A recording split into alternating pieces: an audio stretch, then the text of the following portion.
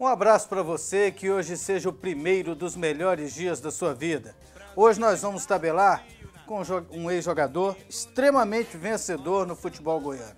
Foi campeão brasileiro da Série C pelo Vila, da Série B pelo Goiás, foi campeão goiano pelo Vila, pelo Goiás, pelo Craque, da segunda divisão pelo Atlético Goianiense e também fez sucesso fora do nosso estado. Vamos tabelar hoje com o guerreiro incansável o motorzinho Kaká. Tudo bem, Kaká? Muito bem, graças a Deus, André. Satisfação estar aqui com você nesse momento, né? Contar um pouco da, da nossa história dentro do, do esporte, né? E, infelizmente, nós temos prazo de validade dentro do, do futebol, mas feliz, de bem com a vida, com a família e uma satisfação estar com você aqui. E, e é ruim, né? O, o, a carreira do jogador de futebol é muito curta, né? É o quê? 15 anos, 20 anos no máximo, né? É, aquele que consegue ter uma vida regrada dentro do esporte, ele consegue chegar nos 18 a 20 anos. Mas para jogar no nível alto, como a competitividade está grande hoje, se você pega um jogador de 30 anos acima, ele fica um pouco descartado. Porque os meninos de 20 anos, ele começa com uma força muscular muito grande. Se você não se preparar, preparar para isso, você vai estar tá ficando de lado porque eles vão passar por cima de você. É, tem que se preparar para sair, para sair da carreira, né? Psicologicamente, financeiramente, em todos os aspectos, né? Porque esses 15, 20 anos, eles são de uma dedicação muito grande, né? É, você quase não vive, né? Se você for um atleta responsável, você dedica a sua vida justamente para o esporte. Então você deixa a família de lado, álbum de família você não, não vai estar tá constando nele, né? E você tem que se preparar também, porque você pode ganhar um dinheiro bom, mas você também é curto, né? 10 anos ali vivendo e depois, o que, que você vai fazer da sua vida? Você tem que se preparar, procurar conhecimentos, procurar manter alguma coisa para depois não passar é, para alguns perrengues. Não talvez financeiro, porque o dinheiro você vai ganhar, mas saber empregar ele porque você ganhou. Se você não sabe fazer nada depois do, do, do esporte, você começa a gastar o que você ganhou e futuramente você vai ficar numa situação muito difícil. É, Carlos Eurides Donizete Braga, é isso, isso. né? Isso. Nome Eurides. grande para um, um, apelido pequeno. apelido pequeno. Cacá, você nasceu em Goianésia? Sou de Goianésia. Você é filho da dona Geni? Dona Geni Cristina Braga. Ah, me fale sobre a dona Geni. A dona Geni é aquela interiorana, ah. né? Paulista, criado em Minas, veio pra cá com meu pai, mora em Goianésia, família humilde, né? Batalhadora. Veja bem que mãe de três filhos, né? Sou eu, o Sandro e o Sanderley, que eu perdi meu pai com, com 13 anos, e ela foi uma guerreira, batalhadora, teve que passar por muitas provações para para criar os filhos, né? E eu, quando perdi meu pai com 13 anos, um ano depois, vim para o Vila Nova e ela trabalhando bastante para tentar ajudar na minha estadia aqui em Goiânia. É, você, o Sandro e o Sanderley, é, você é o mais velho? Eu sou o caçula. Você é o caçula? Isso. Aí o Sanderley, o Sanderley é o do meio, né? Do meio, o Sandro Nós somos três velho. anos. O que, que o Sandro faz? O Sandro hoje ele trabalha, ele trabalhava na, trabalha na empresa hum. de de ônibus, né? Então ele trabalha lá em Goianésia, lá na empresa de ônibus, ele é motorista, né? Ele certo. administra lá. E o Sanderley, ele é contador, né? Contabilista, trabalha lá num, num grande rede de supermercado em Goianésia, ele faz a contabilidade ele do supermercado. Lá no Goianésia também, Ele time, também né? é apaixonado pelo futebol, né? Ele teve tudo para ser um, um jogador, mas na época que ele foi para o Atlético Mineiro, ele chegou a ser titular do Atlético Mineiro da base, subiu profissional, e quando ele estava chegando no profissional, é, numa disputa de bola lá com o Luizinho, o zagueiro, foi na seleção há muito tempo, ele teve um, um problema de joelho. Ah. E na época não tinha esse tratamento que tem hoje. E ele resolveu vir embora, abandonou e foi seguir sua vida lá em Goianésia. Seu pai você disse perdeu com 13 anos? Com 13 anos, né? Tinha um apelido ah. até emblemático em Goianésia, que era Garrincha, que era muito bom de bola, me falava meu pai, só que teve ah. problema de coração. Ah. E antigamente os mineiros que vinham para Goiás, eles vinham com a doença de Chagas. Minas, morava em fazenda, ah. antigamente tinha muito essa... O coração incha, né? É, o coração incha. Então meu pai veio com esse problema, morreu novo, com 44 anos, né? Com problema de chagas, foi insuficiência cardíaca e, e pulmonar também. E ele jogava bem? Muito bom, jogava de ponta Você direita. Você ele? Não sei, eu acho que ele era melhor. Ah. Porque ele tinha uma técnica bem apurada. Eu vi ele alguns jogos dele. jogando, né? Com certeza, não teve essa oportunidade, mas me levava para todos os campos para me jogar. Era uma, uma coisa que ele realizou em mim. Não teve jeito dele ver aqui na Terra, mas pode ter certeza, onde ele estiver, ele está olhando e ficou muito feliz pela minha estada dentro do futebol. É, quem é o seu Adolfo, que trabalhava no Vila Nova? O Adolfo Faustino foi quem me trouxe para o Vila, ele e Paulinho Benga, né? Nós estávamos disputando a Copa Mané Garrincha e teve um jogo entre Vila e, Goiá e Goianésia e nessa, nessa partida eu me destaquei. Então ele, que era o, o diretor da base do Vila na época, hum. ele e o Paulinho foi até na minha casa. Nesse jogo já era meio... Você fez gol? Não, não fiz gol não, mas foi uma... falar que você fez o gol, fiz você o gol... volta olímpica comemorando? Não, foi nas duas partidas, porque eu ah. jogava ah. tanto no infantil como no juvenil. Eu fiz gol no infantil. Ah, tá. Acabava aquela partida e já ia para outra.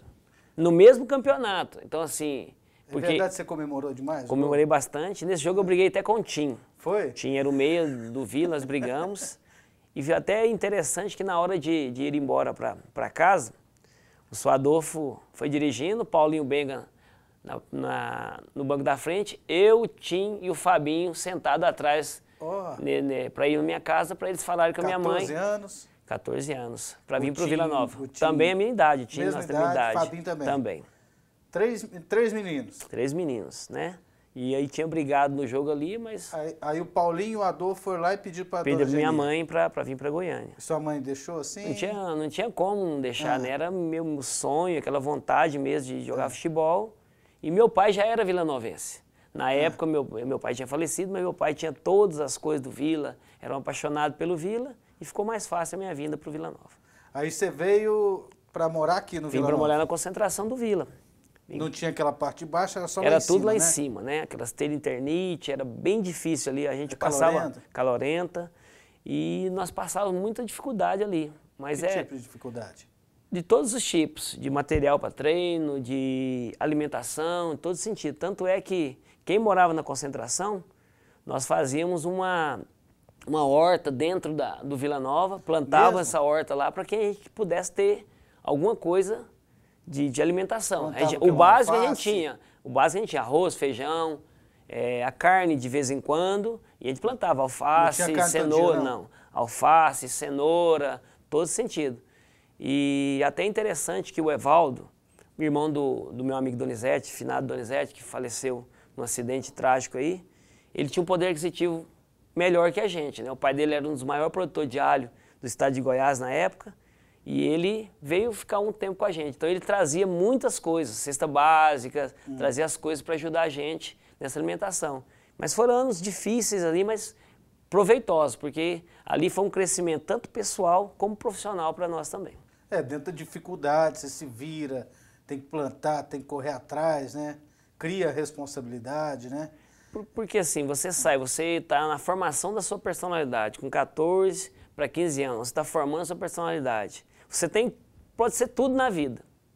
É. Se você não for uma pessoa centrada, você pode ser tudo na vida. Então, foi um dos melhores anos que a gente viveu de, de, de coisas poucas, de dificuldade, mas que ganhou muito para o resto da vida nossa.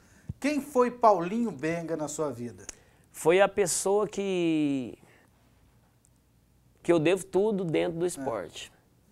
Porque era um, um cara que, para ele, ele fazia muito mal. Ele tinha uma dependência, que todo mundo sabe, é. que, que era da bebida, mas para os atletas dele era tudo. Ele fazia tudo para isso. É. Eu falo isso porque quando eu saí de Goiás para cá, eu tinha perdido meu pai, né, até é, é, ficava um pouco órfão, né? Não tinha, tinha vezes que eu ficava dentro da concentração do Vila um mês sem sair de dentro, porque não tinha condição de ir para Goianésia. Porque tinha que pegar um ônibus, ou ia para um, um trevo, pegar uma carona para ir para Goianésia, e o Paulinho que me ajudava, em todo sentido. Tanto dentro de campo, ó, vai treinar, você tem potencial, você vai vencer, me ajudava, me trouxe de Goiânia para cá, me colocou em colégio aqui em Goiânia. Então, todo sentido da minha vida dentro de Goiânia eu devo ao Paulinho Benga. Ele aqui foi um. substituiu o seu Garrincha? Com certeza. Com certeza foi uma pessoa que, que me ajudou aqui de Ele todo sentido. Tudo. Tudo. Não me deixava dormir fora da concentração, em todo sentido. Ele era um paizão para mim, me ajudava em tudo. Eu, eu, eu falo para você, a formação da personalidade devo muito ao Paulinho. Porque a minha vida aqui em Goiânia, veja bem, o menino sai de Goianese com 14 anos, perde o pai. Na formação sua da personalidade que eu disse para você, se você não tiver uma pessoa para te ajudar, e o Paulinho foi essa pessoa, eu devo tudo a ele. O que eu sou da minha vida. Digo também que tem minha mãe, tem os meus irmãos que me ajudaram bastante, mas dentro de Goiânia, eu vou falar para você, eu sou o que sou dentro do esporte e como pessoa ao Paulinho Benga. Verdade, você era um dos preferidos dele? Olha, eu até, assim, eu fico até sem jeito de falar, porque o Paulinho não tinha nem foto dos filhos dele na carteira, e tinha uma foto minha. Olha então só. isso, assim, me deixou muito marcado na, na sua morte. Quando a gente foi lá no quarto, que ele, na, quando ele estava quase na- Ah. no final da sua vida, né? Nós fomos lá tirar algumas coisas dentro do quarto, achamos a carteira dele, aquelas coisas tudo. E eu fiquei muito comovido com isso, que veio que dentro da carteira dele tinha uma foto. Ele nunca tinha mostrado isso para mim. Mas isso eu, eu fiquei muito comovido e, e realmente, ele com 16 anos, ele depois foi jogar no juniores já, com meninos de 19 anos, eu já era titular do Vila, então a preferência dele era muito boa por mim mesmo. Fiquei sabendo da história sua nos juniores e o Paulinho. Nós vamos contar ela daqui a pouco. Você vai lembrar ela daqui a pouco. Daqui a pouco a gente volta tabelando com o Kaká, ex-Vila, ex-Goiás, ex-Atlético, aqui na PUC TV.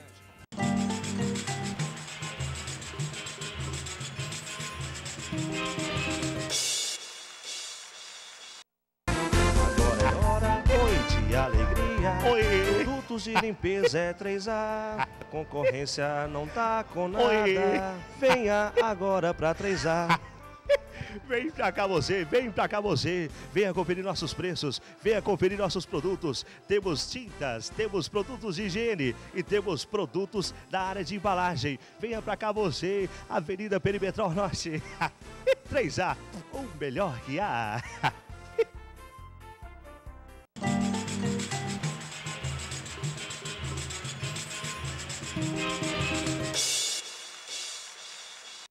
É isso aí, estamos de volta, tabelando com Kaká, ex-jogador do Vila Nova. Daqui a pouco vai contar sobre os títulos, sobre os times vitoriosos no Vila, no Goiás. Ganhou a Série B, ganhou o Campeonato Goiano. No craque foi campeão goiano em cima do Vila Nova. E no Atlético subiu o time é, da, da segunda divisão do futebol goiano. O time estava na espera, naquela ressurreição do Atlético, né? Naquela volta do, do Dragão e depois disputou a primeira divisão pelo Atlético. Fora os outros times que ele jogou. É, a gente estava falando sobre o seu início, né? A oportunidade dada pelo Paulinho Benga, do seu Adolfo, que te, trouxe, te trouxeram lá de Goianésia. Eu fiquei sabendo que teve uma, uma partida no Serra Dourada, é, entre Vila Nova e Atlético, Campeonato Goiano de Juniores. Você foi expulso com cinco minutos, como é que foi essa história? É, foi um, um jogo que começamos o jogo ali e tudo, e eu, na hora da dividida da, no meio campo ali, até que foi com a esquerdinha, Hum. ele jogou para cima e eu chutei, pegou a cabeça dele e o juiz me expulsou, com cinco minutos mesmo. E na partida foi até vexatório, nós perdemos, foi, acho que não foi cinco ou seis a um nesse jogo, e o Paulinho ficou muito bravo comigo nesse jogo aí, aconteceu isso mesmo. Mas demos uma reviravolta depois É, depois disso não perdeu mais. Depois Depois, disso disso não- ganhou o campeonato. Depois disso ganhamos o campeonato, não perdemos mais nenhum jogo. Nenhum jogo. Verdade, você tá namorando atrás? Não, não teve isso não, isso é folclore. A única coisa que aconteceu foi no outro dia a reunião. Reunião lá no Vila, perdemos o jogo de 6 a 1 pro Atlético, né? Jogo difícil mesmo. E o Paulinho fez a reunião. E eu sentei no final da fila, né? Aí o Paulinho começou a falar e o culpado disso tudo é você. E apontou pra mim. Eu olhei pra trás, não tinha ninguém, eu falei, é você mesmo. Aí me esculha- esculachou mesmo, perto de todo mundo, pôs lá embaixo, me- mexeu comigo mesmo. Ele sabia o que, que, ele, que ele fazia também, ele sabia que ele podia contar comigo, mas foi bem incisivo mesmo, tudo. E depois disso, o Paulinho ficava num, num bar aqui em Goiânia, chamava até Tio Patinhas. Eu saía do Vila, passava no Tio Patinhas e ia para a escola, que eu estudava lá no Colu, que é o presidente Costa e Silva ali.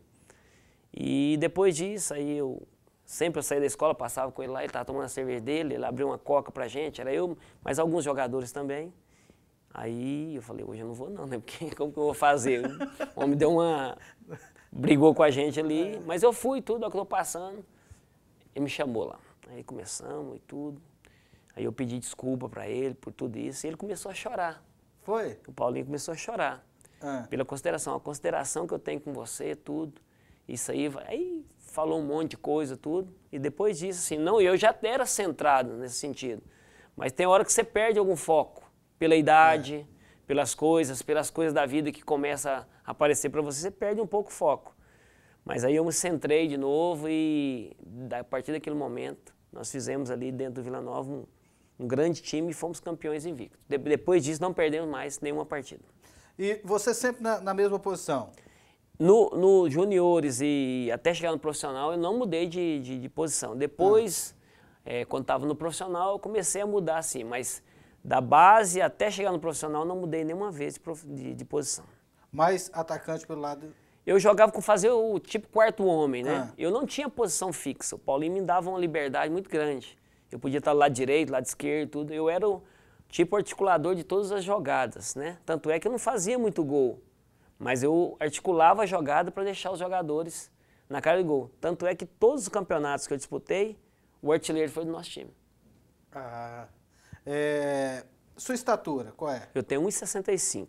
Isso aí te atrapalhou ou te ajudou? Co- Como é que foi essa questão da estatura durante toda a sua carreira? Olha, ela atrapalha no sentido de time maior para jogar. Não posso também falar isso que o melhor jogador do mundo hoje é baixinho, Romário é baixinho, mas são fora de série, são diferenciados, o que eu não era, né? Eles eram acima da média. Eu era um jogador batalhador, mas tinha minhas qualidades também, tinha minhas qualidades. Mas se eu tivesse algum centímetro a mais, pode ter certeza que as coisas facilitariam mais para mim. Mas me atrapalhou nesse sentido por não ser um Neymar na vida, um Messi, tudo. Porque aí você consegue qualquer estatura jogar. Mas como eu não era é, esse best, é, best, o melhor de todos os tempos, não era o melhor da, da minha posição, tudo, me atrapalhou bastante, mas eu conseguia conciliar com isso com outras coisas. Obediência Obediência tática. tática, com um dos melhores preparos físicos que tinha no estado de Goiás. Isso eu me preparava bastante, porque eu sabia que eu ia, eu iria é, dar melhor rendimento a partir dos 20 minutos do segundo tempo. Então eu já me conscientizava para isso, Para fazer para diferença? fazer diferença depois dos 20 minutos do segundo tempo. Porque eu sei que ali tem um, uma baixa de, de, de qualidade de todos os jogadores, tanto nível como técnico, então eu me preparava para isso. Eu treinava mais que todo mundo nesse sentido. A pré-temporada ninguém ficava na minha frente, então eu me preparava para mim, nos 20 minutos do segundo tempo, eu estar sobressaindo. Tanto é que quando a- o pessoal gosta de analisar os jogos depois dos 20 minutos. Porque a pessoa ah, jogou bem o primeiro tempo e caiu o segundo. Então depois dos 20 minutos, eu estava na ponta dos cascos, aí eu conseguia sobressair. Outra característica sua, dentro de campo, a gente acompanha durante muito tempo, você conversava muito. Bastante, É, é, bastante. Para muitos adversários, você era até chato. É isso, Cacá? Isso, bastante. Futebol, futebol em si, ele é um jogo como um xadrez, como tudo. Ele tem as suas peças para você estabilizar os outros concorrentes. O que, que você fazia? De fazer tudo. Todo sentido de irritar os adversários, os meus companheiros, dar ânimo. Porque, por exemplo, você entra no jogo, vai jogar um time grande como um time pequeno. Você... E acontece muito, uma zebra, alguma coisa, né? E esse trabalho eu fazia bastante. Tanto é que a gente não perdia para time pequeno, não, não tinha isso. E quando jogava um time grande, a gente fazia o trabalho também. E irritava os, os adversários. Em sentido, não, aqui somos nós mesmos, não adianta. E falava Discutia, coisas, discutia, ia para cima, todo sentido. Eu não tinha. Como é que você quanto fazia? mais Quanto mais me batia, mais eu, eu ia pra cima. E... Por exemplo, 93, 94, eu me lembro que ainda jogava o Bilzão, jogava o Edivaldo Costa, jogava uma zagueirada que batia Eu bastante. tinha, um- eu tinha um, É. uma- um retaguarda tranquilo, né? Eu ia lá, incendiava e os outros seguravam a barra ali, né? Porque o tamanho não ajudava. Mas eu sabia onde eu mexia, eu sabia porque isso, isso dentro do esporte é legal, isso é legal. Por quê? Não é nada de macular as, as, as coisas, não, mas é uma forma de você jogar, né? Não é induzir, ao, a- induzir o adversário ao erro, fazer ele errar. Ele, talvez se você não concentrar no que você for fazer, por exemplo, vai bater uma falta. entrava na sua pilha? Com certeza, todos. Tanto é que a maioria dos jogos tirava o jogador expulso, né? E isso, você jogar com a menos, realmente você toma uma vantagem grande. Então isso era o intuito mesmo. Falta de, de todos os sentidos para que eles ficaram nervosos. Eu punha minha cara para bater mesmo. Podia chegar, quanto mais chegava, mais eu ia para cima. Apanhou muito? Apanhei bastante. Muito. Mas por ser leve, né? Até... Qual o zagueiro que você não esquece? Rapaz, tem, tem um jogo em, em Rio Verde, Vila Nova e Rio Verde. Tinha um zagueiro, zagueiro você até conhece, chamado Frei, lá em, Sei, lá sei. em Rio Verde. E nós era tudo menino no Vila. Era eu, Tim, Rony, Luciano, Gilvan, tudo meninada. E o Frei já era, já tinha jogado no Vila e já estava no final da sua carreira dentro, né? E ele começou a bater num. E nós fomos fazer o rodízio. E eu tinha, apanhava um pouco, vinha o carro e fazia isso, né? É, eu já vi, eu já vi rodízio pra bater, agora rodízio pra apanhar. Porque a gente tinha que fazer isso, porque senão não tinha jeito. É, no futebol geralmente Aí- tem isso, ó, vai cada um bate uma vez. Aí. E o Frei chegava, assim, ó, você tá aqui, e chegava murro mesmo, que chegava, É? não, tinha hoje essas câmeras todo que tem, não. E dava um murro, falei, ó, vem outro aqui. E, e ele dava, e foi tirando os jogadores, machucou o time, machucou o Rubim, machucou outro. O final era só eu. Eu tava lá no meio de tudo lá. Eu falei, meu Deus do céu. Tanto é que o, o Paulinho era o treinador nesse jogo, nos jogos desses aí. O Rubim, que jogou com a gente no Vila também, o Frei olhou para ele e disse, ah, você tá aqui ainda? O Rubim na hora pediu para sair. Porque era maldade, não era? É? o Rubim foi, tirou o Rubim. Era maldade, a gente tava ganhando o jogo ainda e chegava na maldade. O juiz naquela época não dava qualquer cartão não, não expulsava não. Então, é um zagueiro que eu não esqueço não, ele era bom zagueiro, mas era um pouco maldoso. E você era reclamão com o juiz? Muito. Mas eu sabia falar com o juiz também. Reclamava, mas assim, todo mundo hora que achava. você via que ia tomar Não, é, cartão- mas eu, eu levava brin- com ele brincando, né? Ah, Conversava bastante com ele, elogiava, né? Tem hora que o pessoal pensa que a gente tava era reclamando do juiz, estava elogiando. Né? Falando, você tá bem demais, muito bem. Só que tinha que dar aquela falta. Só que sabia falar com o juiz. Não adianta você bater de frente com o juiz. Você tem que saber conversar com ele. Mas eu falava bastante, falava o jogo todo. é, me conta a história de uma vez que, numa concentração, o Kesley te encarou. Não, não, não é que ele encarou. Ah. Ele fez por brincadeira também, só que eu assustei, né? sempre dentro do. O Kes é um dos meus amigos, gosto demais dele, sempre foi assim. Foi numa concentração e sempre tinha umas reuniões evangélicas lá, né? Tinha um pastor que ia orar. E nós tínhamos uma, uma turminha que não era evangélico, né? Era na maioria. E o Kesley esse dia foi na, nessa reunião evangélica, né? E a hora que ele saiu lá, eu fui brincar com ele. Falei, ah, Kesley, vai fazer o que lá, rapaz, não sei o que e tudo. E ele foi e me encarou, tudo aquilo. Aí, só que ele encarou na brincadeira. E eu assustei. O jeito que ele falou não foi de, de brincadeira.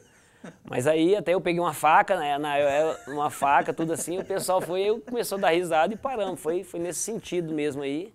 Mas é. Nosso grupo era unido demais, foi, foi de brincadeira que eu fiz, mas eu assustei na hora. É, diz que o pessoal pegava muito no seu pé, é verdade? Bastante. Brincava O bastante que, que o. Vladimir fazia? Ah, o Vladimir, ele chegava na concentração, todos os dias chegava no... Eu também era muito brincalhão, né? Ah, Chegava e, a hora que eu abri a porta do vestiário, eles puseram o apelido meu de, de Ananias. De brincadeira, porque era Aquele do- que fazia pra frente e pra trás, que bem baixinho, né? A hora que eu chegava na... Abri a porta do vestiário, o Vladimir já estava fazendo o gesto lá do Ananias no vestiário. Aí eu saía para treinar, a hora que eu voltava, tava o Vladimir. Então, assim, era brincadeira, todos, tudo. Aí depois eu descobri um, alguma coisa do Vladimir, nunca mais fez também, parou por ali e tudo. Encerrou a brincadeira. É, e eu gostava muito, assim, de brincar com o pessoal, por exemplo. O Batata mesmo, filho do Almir, Sei. ele tinha comprado uma, uma sunga novinha. É. E eu, quando tava chegando no final, eu cortava a sunga de todo mundo. Bem na, bunda mesmo, bem no bumbum e tudo. E o Almir viu. Ninguém viu, cortava, ia embora, não falava pra ninguém, tava lá. E o Almir viu isso.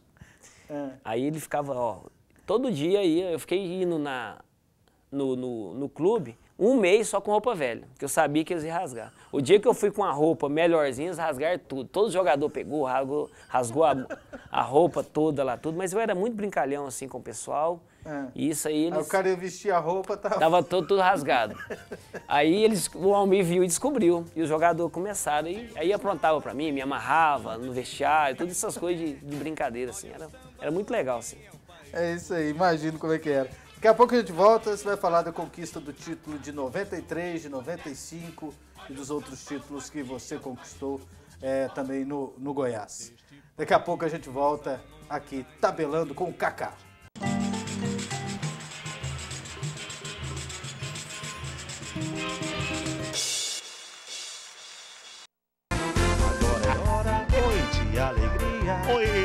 Produtos de limpeza é 3A. Concorrência não tá com nada. Venha agora pra 3A.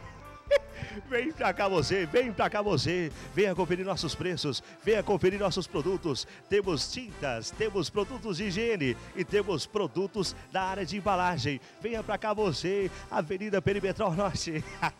3A, o melhor que há.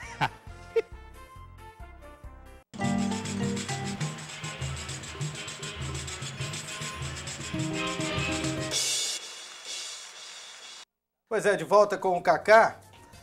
É, Kaká, você foi campeão em 93 e 95 pelo, pelo Vila Nova, né? Isso. Você lembra o time de 93? Era Sérgio Era Neri? Sérgio Neri, Alfinete, Alfinete. Cássio, Fernando, Célio Gaúcho. Seria o- Tozinho, Cé- César Baltazar, Aguinaldo, Kaká, Bé e César Gullit, César Mineiro.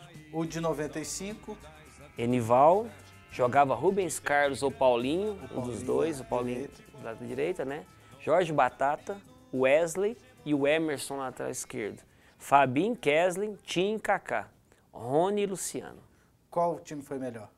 Eu considero de 95 melhor, porque só nós tínhamos desse time aí dois jogadores de fora. O resto era tudo da base. O Vila Nova passava por uma crise financeira muito grande. Não tinha dinheiro, não. O Balzac era o, treina- o presidente, ele chegou e falou, "Ó, não tem dinheiro, vou ter que pôr o pessoal da base. Subiu todo mundo da base e contratou Jorge Batata, Paulinho e Rubens Carlos. Foram as três contratações do Vila. O resto foi tudo da base.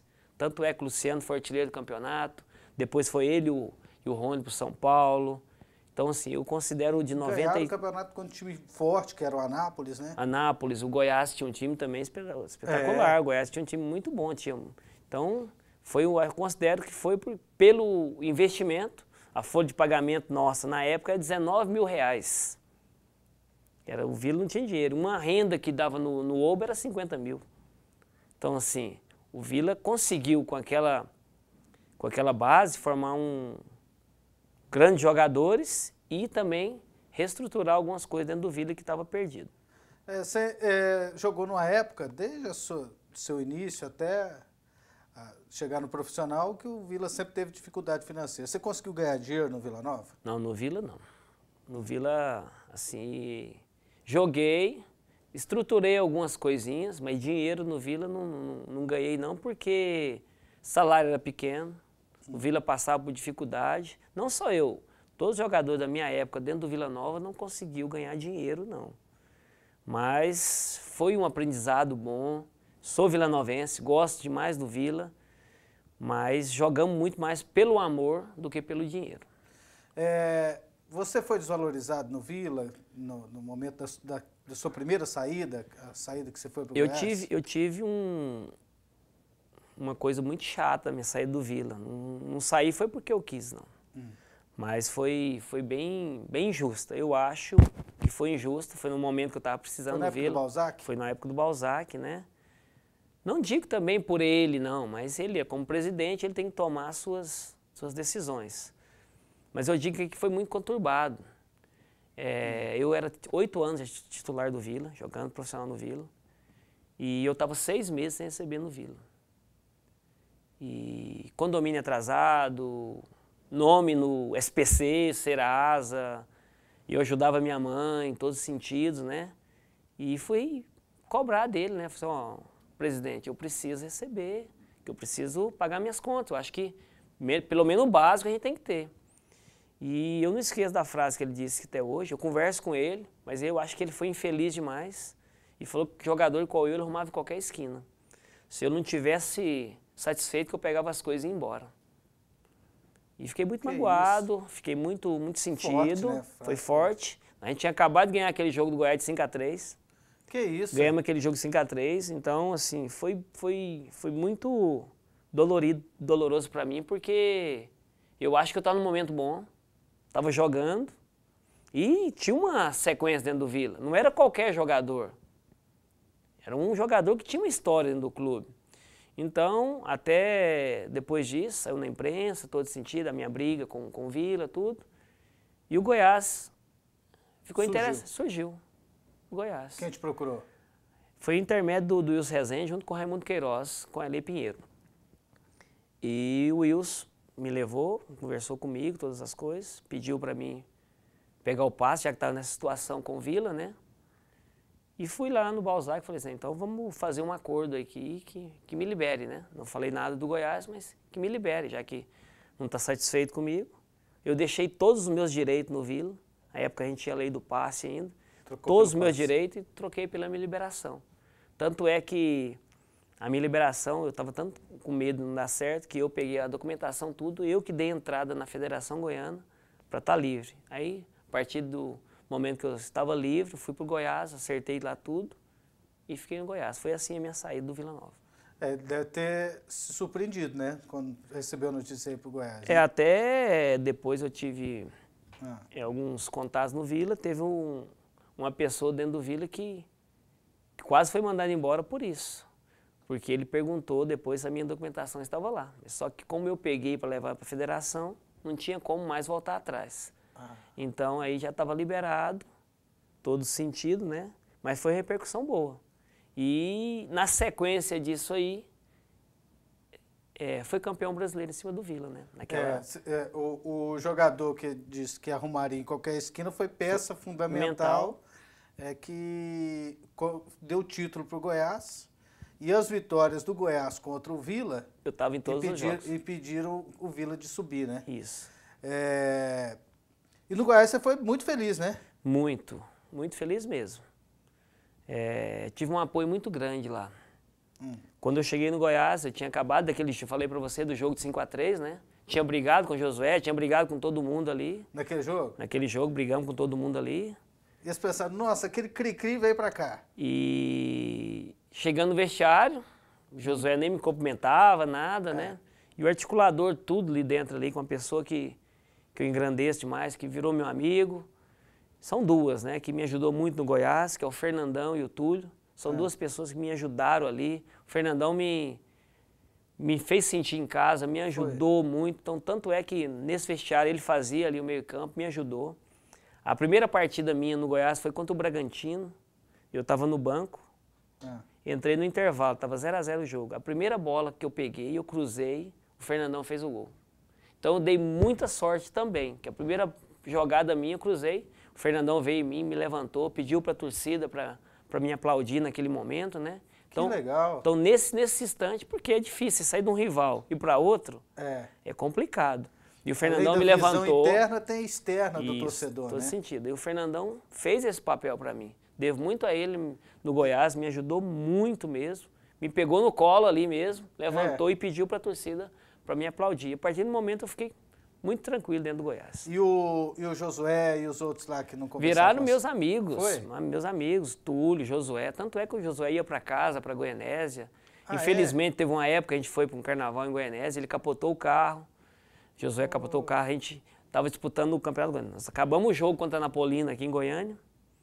Ganhamos um jogo de 3 a 1 da Napolina e tinha um carnaval bom em Goianésia. Eu era noivo, Josué também na época, fomos para todo mundo. Foi Zé Carlos, Danilo, eu, todo mundo para Goianésia. E chegando em Goianésia, o Josué capotou o carro. Aí eu tô lá na, no carnaval, o Túlio, o volante, me liga, porque morava Túlio e Josué junto. O Cacau, o Josué indo para Goianésia aí capotou o carro. Vai eu meia-noite pegar o meu carro com a minha, minha noiva, voltei na estrada, 25 quilômetros, chego lá, o Josué tudo sangrando, com a cabeça sangrando, carro capotado. Peguei ele, pus dentro do meu carro. Levei, eu não lembro desse acidente. Levei ele, fiz, é. ele, peguei, levei ele para Goianésia. É. Meu, meu sogro tem um hospital em Goianésia, né? Ah. Acordei meu sogro, isso era duas da manhã já. Acordei é. meu sogro, meu sogro foi lá no hospital, tirou o caco de vidro da cabeça do seu Zé, costurou a cabeça dele, tudo. E aí? É. Como falar para o pessoal?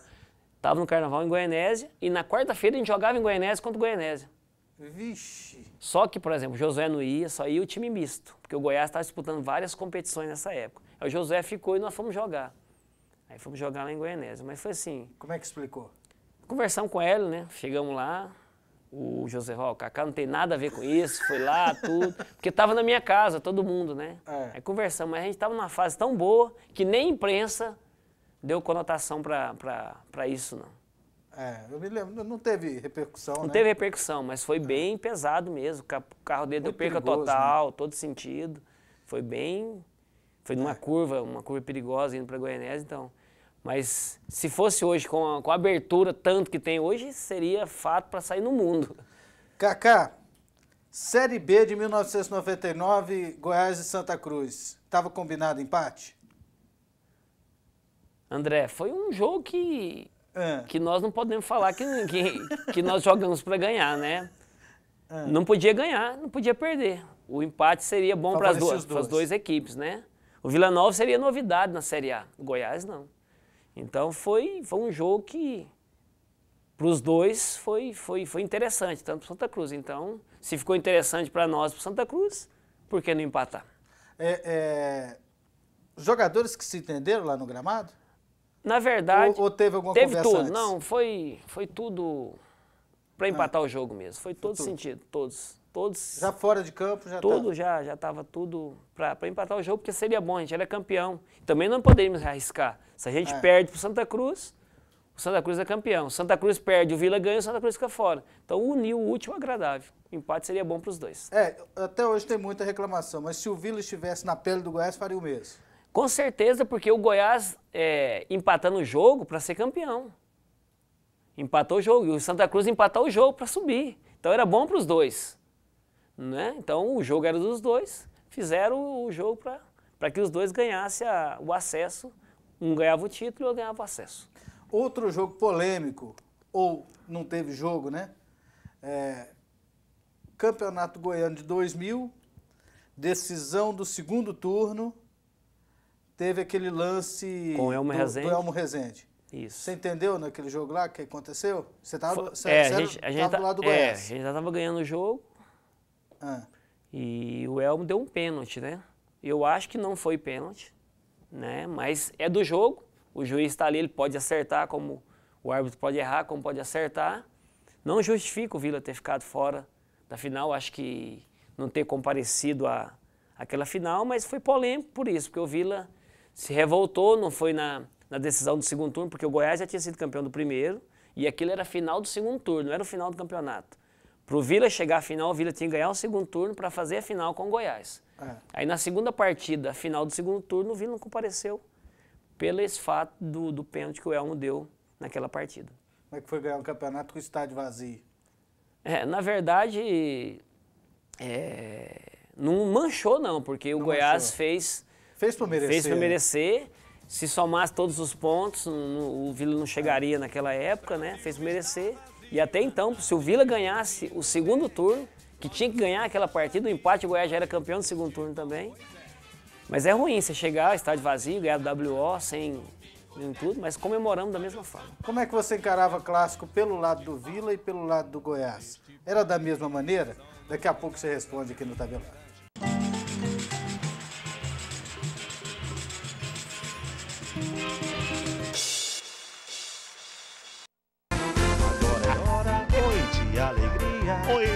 Produtos de limpeza é 3A. concorrência não tá com nada. Venha agora pra 3A.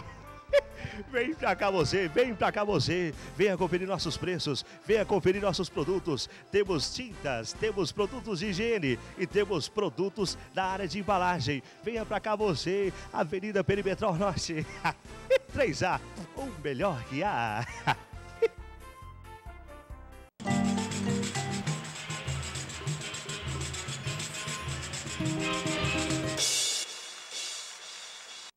É isso aí, estamos tabelando com o Kaká aqui na PUC TV. Lembrando que o nosso programa tem o apoio dos produtos 3A. Se é 3A, você pode confiar, com uma super loja na Avenida Perimetral Norte. Kaká, quem. É, quando você disputava o clássico, é, é diferente pelo lado do Goiás, pelo lado do Vila ou é, ou é a mesma coisa? Não, tem uma, tem uma, tem uma boa diferença, sim. Todos dois encaram o clássico de uma forma positiva. Só que tem uma maneira dentro do Goiás de encarar esse clássico maior que o Vila. Em termos que o Goiás fala que não pode perder de maneira alguma para o Vila. Semana de clássico. Semana de clássico é bem concentração, é um trabalho psicológico muito grande, tanto na parte administrativa como na parte de comissão técnica, para esse O clássico. que, que o diretor fala, assim? Não, porque pode se desestabilizar. O Goiás perdendo para o Vila vai dar uma conotação muito grande dentro da imprensa. O grupo vai ser taxado como perdedor para o Vila, não, não pode. Já, já, já, já diante do Vila Nova, também se encara o clássico. Eu acho que a rivalidade é muito grande, mas assim, precisa trabalhar mais a cabeça dos jogadores, de- da comissão, do- do- dos, dos diretores, que é um clássico, como o Goiás encara o Vila. Um clássico difícil. Tem que ser não só no oba-oba. É um clássico mesmo, determinado. Nós vamos ganhar, nós vamos fazer isso, isso, e traçar estratégia para isso. Não pode ficar só no rivalidade do coração, não. Tem que tratar, como o Goiás faz. O Goiás tem a rival- rivalidade de um time contra o outro, mas ele trabalha muito bem esse clássico. Então, o, o dia seguinte de uma derrota no clássico é mais pesado no Goiás que no Vila. Com certeza, pelo, pelo trabalho, por, pela, pela grandeza que o Goiás hoje significa no cenário, entendeu? E o Vila deixou um pouquinho cair isso aí, tanto é que tem que retornar de novo. Hoje em dia, você pega nos últimos anos agora, é, não estava havendo mais clássico. Era um jogo normal pro Vila. O Vila já entrava derrotado no clássico. E não pode acontecer isso. Já o Goiás não ganha o jogo, não é daquele dia, não. O Goiás ganha o jogo numa preparação. Então, certamente um clássico perdido pro Goiás dá uma conotação no outro dia maior do que no Vila Nova. É, vamos aqui é, agora falar de outros times que você atuou, né? Campeão pelo craque. Isso. Dois- Eu acho que desses campeonatos goianos foi um dos maiores, dos melhores títulos, os mais difíceis, porque você conquistar o time da capital é mais fácil. Difícil é você ganhar um título pelo interior. Veja bem que hoje no, no estado de Goiás nós temos só quatro times do interior que ganhou título de campeão goiano. Itumbiara, Aná- craque, Anápolis. Três. Craque, Tumbiara, Craque, Anápolis e o Goiatuba. Ah, e o Goiatuba, verdade. Só quatro times, verdade. Quatro times ganharam títulos. E, e e desses aí, quem conseguiu ganhar duas vezes só foi o craque. Só o craque. Só o craque, um uma delas com, com você lá Que vai demorar Vila, né? muito tempo para tentar ganhar outro. É verdade. É, você também jogou no Náutico. Isso, fui campeão pernambucano pelo Náutico. Uma ótima equipe que eu joguei, formou um grupo muito grande. Nosso treinador na época era o Murici Ramalho. Ó, que Murici beleza, hein? era, era o treinador, no centenário do Náutico, né? Então foi muito importante para o Náutico esse título, veja bem, no centenário. E dentro lá tem uma rivalidade muito grande também em Pernambuco. O Náutico é ex-campeão pernambucano, o único que ganhou seis vezes. Antigamente a gente tinha isso aqui, o Vila era o único tetra, né? E caiu depois contra o Goiás, foi pentacampeão. E eu fui, esse título do Goiás foi no pentacampeonato, que eu estava também no Goiás. Então em Pernambuco, o Náutico é hexa e o esporte era penta nessa época, em 2001. Se o esporte ganha, iguala ao Náutico. E nós conseguimos ganhar o título É, pernambucano. Você jogou na Napolina? Na Napolina. Eu acho que eu vivi, assim, dentro da Napolina, Hum. um dos melhores fases da minha carreira. Foi? Joguei muito bem, acho que joguei no Vila bem e tudo, mas na Napolina eu consegui desempenhar meu futebol na plenitude mesmo. Acho que foi. Eu consegui aliar força técnica como, como física, todo sentido. Eu acho que eu, eu jogava o melhor futebol da minha, da minha carreira. Talvez pessoas não dão essa. todo esse. esse pensa que foi Vila, Goiás. Eu acho que eu joguei um bom futebol, Vila e Goiás acima. Mas na Napolina eu acho que eu estava acima da Tá média. Mais experiente. Mais tá. experiente, eu acho que eu consegui desempenhar um bom futebol. É, você jogou na Turquia? Turquia, Kone legal Sport, lá? muito bom. Kone Sport. É um Hum. time. Adquiriu muita cultura lá? É uma cidade muito difícil. Hoje eu sou. Eu sempre fui católico, né? Sou sempre Hum. católico, mas aquele frequentador de missa. Nunca fui a fundo, não. Hoje, depois de 2006, eu comecei a frequentar mais a igreja católica e buscar conhecimento. E Cônia, na Turquia, eu estou falando desse sentido porque só para mim resgatar um pouquinho de Cônia. Cônia é um dos berços do cristianismo. E lá 99% é muçulmano e o berço do cristianismo. Por quê? Paulo, Saulo de Tarso, Paulo, São Paulo apóstolo, nasceu em Cônia e foi o precursor do, do cristianismo, né? Oh. Então, assim, a cidade onde eu morava em Cônia. E eu não sabia nessa época. Se fosse hoje, eu ia fazer algumas visitas, tudo por isso, mas foi muito bom. Né? É, você jogou também no Dragão. Dragão, boas histórias no, no, no Atlético, ressurgimento do Atlético, né? Tinha uma história boa dentro do, do futebol goiano, deu aquela queda, aquela sumida, até pensando em acabar, Antônio Ascioli é, demolido. Aí nessa reestruturação do Atlético em 2005, nós fomos campeões goiano da divisão de acesso, depois vice-campeão goiano em 2006. Teve Trindade. Trindade, né? Que foi a minha última equipe, né? Trindade foi a última equipe. É, fiz duas temporadas pelo Trindade e minha última partida foi contra o Itumbiara, onde eu encerrei de vez. Foi contra uma partida difícil, choveu bastante. Pensa num, num campo alagado É. e lama para todo lado. O Itumbiara precisando ganhar o jogo para não cair e o Trindade usado empate. Tensão os 90 minutos. 0 a 0 Tumbiara foi para a segunda divisão e o Trindade, o Tacão, permaneceu na primeira divisão. Nessa lista aqui também teve o Gama, você foi campeão Teve o Gama, fui né? campeão brasiliense pelo Gama, né? Teve uma outra equipe que eu fiz quatro jogos também lá em Alagoas, que chama Cururipe, que eu fui também campeão alagoano. Então tem uma vasta. Mais um estadual Passagem. na, na- na- Foram vários títulos Mais aí. um troféu na carreira. Mais um troféu. É, quem é a dona Paulínia? Paulísia. Paulísia. Paulísia é a minha esposa, que está comigo há 19 anos, né? Nós namoramos muito tempo. Ela, toda a transição dentro da minha carreira, de Vila para Goiás, todos ela estava junto. Eu casei quando eu sabia, saí do Goiás, faz 13 anos hoje, que eu sou casado, né? Mas ela está comigo há 19 anos. De Goianésia, guerreira, está comigo.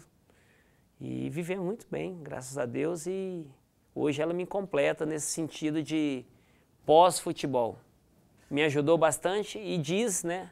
Teve um dia uma frase dela que eu nunca esqueço. Ela fala para mim que hoje ela tem um homem que ela pediu para Deus, né? Porque a minha vida começou mesmo assim. Não é que o futebol foi ruim, foi muito bom, muito bom para mim mesmo. Mas eu comecei a viver depois que eu parei de jogar futebol. É, três filhas. Três filhas, Júlia, né? Que tem nove anos hoje. E as minhas princesinhas também, as Gêmeas? gêmeas, a Vitória e a Luísa. Júlia, Vitória e, E Luísa. Luísa. É, você hoje tem uma academia, né? Né, eu- hoje eu, eu parei de jogar futebol. Hum. Como eu disse que no começo, a gente tem que procurar conhecimentos, né?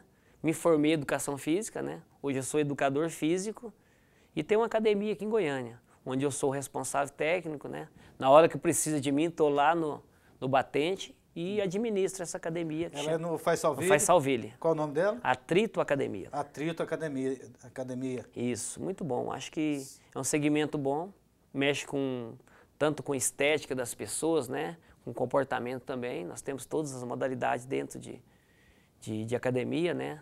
tanto como jump, pilates, todas as modalidades mesmo que, que abrange uma academia. E é um segmento que eu gosto, né? Que é dentro do esporte. Você dá aula? Dou aula também, dou aula de spin, hum. dou aula que precisar lá. Acho que é muito bom, acho que é um segmento. Eu acho que se eu ficasse parado pensando em outras coisas, não teria uma grandeza como foi no, dentro do futebol. Acho que é importante dar segmento na sua vida e eu procurei nessa área do, do FITS, né, que é de, de educação física, é, dar segmento na minha vida. Me lembro de você atuando recentemente como empresário. Está ainda? Eu comecei nesse desse mercado, né? Mas com a minha, não estou denigrindo ninguém, mas eu acho que é, é muito difícil. Tem muitas pessoas boas dentro do, do esporte, mas como tem pessoas também que, que não vale nada, que não tem, não acrescenta nada. Então, é um meio muito sujo. Ainda ajudo, faço algumas coisas dentro disso, porque tenho grandes amigos dentro do esporte, mas a minha prioridade hoje é trabalhar como professor de educação física na minha academia e, esporadicamente, uma hora ou outra, trabalhando também como empresário. Uma coisa que também não está me agradando muito. Vai ter showball agora, né? Era para acontecer esse final de semana, dia 23. Aí nós tivemos um, um atrito aí, né? O Alex Dias trouxe o showball para Goiás, ele está acabando de, de, fechar algumas uns detalhes de patrocínio, mas vai acontecer dia 7. Dia 7 de dezembro, showball. Eu fiquei encarregado de montar o Vila Nova, estou arrumando o, Vila, o time do Vila todinho, e é um quadrangular. É Vila, Goiás, Flamengo e São Paulo. Vão acontecer no sábado e no domingo. Sábado vai jogar Vila e Goiás. Quem ganhar faz a final entre São Paulo e Flamengo também. Um oh. faz, a, faz a final. Então vai ser Quem muito tá bom. Vila? O Vila, o convidado hoje vai jogar o Tim, vai jogar o, o Enival, goleiro. O Paulo Nunes vai jogar pelo Vila. O Anderson Barbosa, que ficou marcado no Vila pelo aquele jogo do 5 a 3 o atacante Sei. Anderson, Leonardo Valença, que fez o gol do meio-campo do Vila Nova, também ficou marcado. Oh, beleza. Né? Leonardo Manzi, o Vladimir, oh. o Christian. Só fera. São, são, são pessoas, né? Convidamos o Rony, ele ficou de, de, de confirmar a sua participação. Você vai jogar? Eu não vou poder jogar porque é. no dia do evento eu já tenho um, uma viagem é. marcada com a família. Você organizou o time? Já está tudo organizado, tudo, né? E falta agora o Tim, vou passar a responsabilidade para o Tim acabar de montar a equipe, né? E ficou faltando só o Túlio Maravilha de confirmar também, ele e o Rony. É, e o, o Goiás? É o Goiás vai Dias? ser o Alex Dias, Aloísio, né? O ah. Túlio, o volante, oh, o Zé Carlos, lateral, oh. o Idemar, o Wilsinho Goiano. Que... São, são, vai, vai dar um, um embate muito bom. Flamengo e São Paulo, você já sabe? Flamengo e São Paulo, Flamengo é tetracampeão brasileiro de showball, né? Ah. Porque a marca showball é do Djalminha. Ah. E o Djalminha é vai, o que estar vai, vai, estar presente, né? Então o Flamengo campeão, tetracampeão, vai estar todos aí, né? Kaká, você é feliz? Muito. Sou feliz, realizado. É, eu acho que eu, eu digo para todas as pessoas assim que eu sou tão feliz, realizado, sou abençoado por Deus Hoje eu sou uma pessoa que, que estou dentro da Igreja Católica, né? Sou praticante, eu sou hoje coordenador do movimento de cursilho na Matriz de Campinas, sou coordenador do setor Campinas hoje. Toda segunda-feira estou lá. E a minha felicidade não só em termos de, de, de, realização profissional, mas pessoal também. Porque eu me realizei dentro do esporte, eu acho que, que é importante. Tenho uma formação muito boa de família. O segmento família, ele engrandece muito o homem. Eu acho que a minha família é sólida, né? Eu, minha esposa, minhas filhas, com a minha mãe, meus, meu, so, meu sogro, minha sogra. E isso dá uma felicidade muito grande. E eu procurei a minha felicidade dentro da família, com o profissional que eu sou hoje e também no segmento de Jesus Cristo, que, que nos dá um, uma grande realização. Acho que o homem não se completa se não tiver é, o segmento de Jesus na sua vida. E eu fiquei muito feliz com sua presença aqui. Obrigado, eu também, viu, André? Eu acho que é importante, eu acho que nós ficamos um pouco sumidos é, da mídia depois que nós paramos de, de jogar o futebol. Mas a pessoa fica, eu acho que a lembrança, a história, não tem como você apagar. E eu, como eu disse para você, sou realizado e espero que eu possa, de alguma forma, estar tá contribuindo dentro do esporte, profissionalmente, para as pessoas, porque o mundo precisa de pessoas boas e eu me considero uma delas. E é, com certeza. Vira aí essa história bonita do Kaká aqui na PUC TV no Tabelando. E na semana que vem, outro convidado especial. A você um abraço uma boa tarde. Brasil está vazio na tarde de domingo, né? Olha o sambão aqui, é o país do futebol, pois é. Brasil está vazio na tarde de domingo, né? Olha o sambão aqui, é o país do futebol.